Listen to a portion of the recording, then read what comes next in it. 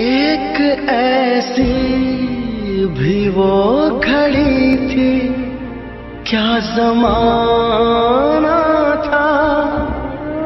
खूबसूरत